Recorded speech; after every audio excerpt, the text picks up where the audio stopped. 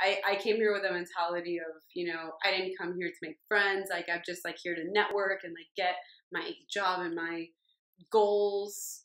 And then I and then because like that's how you're kind of conditioned in college, at least I was, because all you do is your art. Right. So it's like, oh, family doesn't matter right now, or like my health doesn't matter. It's just like my art, my art, my art. But then when you are in the real world, you just you realize that there's just so much other things that bring your life together. You know, like like your family Right. and like spending time with them and like taking care of yourself, not partying three days a week. I can't do it You know, anymore. no, yeah. No, me neither.